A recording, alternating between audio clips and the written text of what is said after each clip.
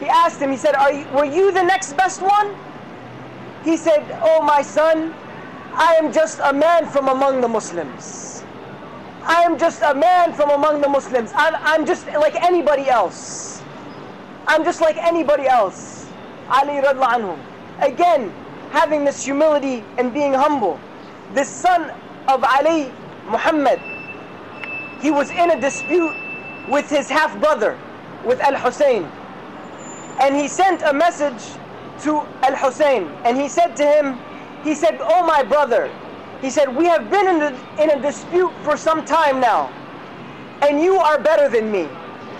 And your mother is better than my mother. And the Prophet ﷺ said that the better of you is the one who starts off with the salams. When two people are in a dispute, the Prophet ﷺ said, The better from among you is the one who gives salams first, who goes and initiates with his brother. He said, So I was afraid to initiate the salams with you that I, that I would be better than you. So start with the salams. So come to me and start with the salams. SubhanAllah, that's how humble he was to someone that he was in an argument with, to someone he was in a dispute with. SubhanAllah. So again, to humble ourselves. Could we, could we be humble like this? Like these stories that we've heard.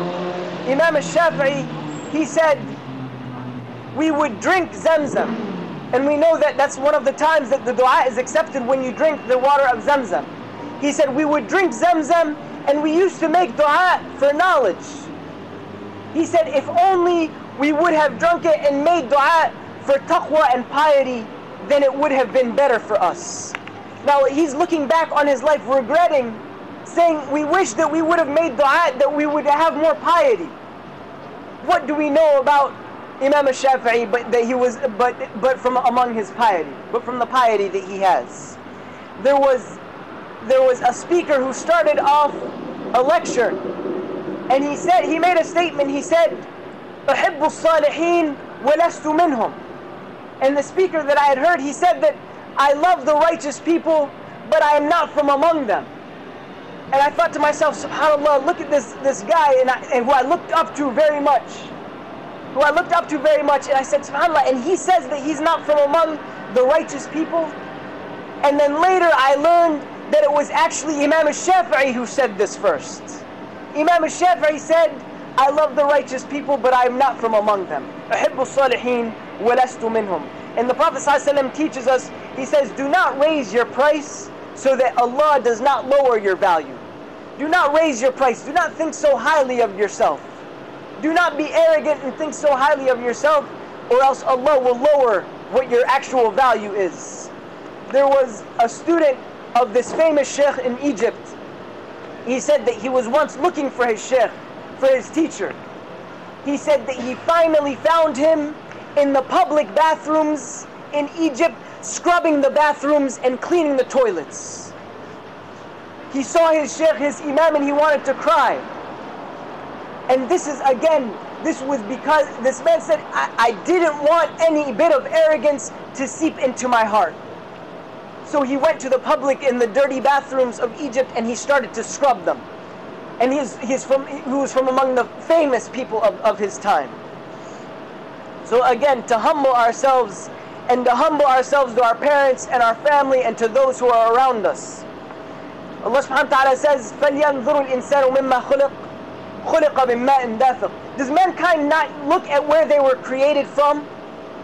They were created from a despicable fluid. SubhanAllah, and from this despicable fluid comes people who are arrogant and think they're, they're, they're from among the best and better, better than others.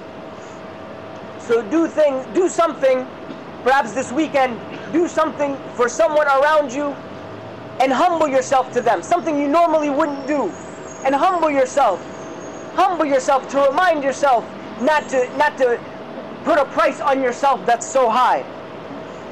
Again, anyone who has a mustard seed of arrogance will not enter into paradise.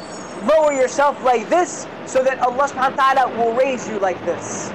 So that Allah subhanahu wa ta'ala will raise you. Allah subhanahu and the Prophet ﷺ, very oftentimes he gives us recipes for how to enter into paradise. for how to enter into paradise, how to have a successful life.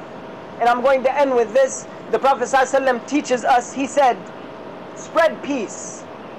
Spread peace, feed the hungry, honor your ties of kinship, pray while other people sleep, and you and, and you shall enter into paradise with peace. Again, so this being peaceful and having an effect on those around you, having this a good relationship with those around you, humbling yourself to those around you. Did I do the first khutbah?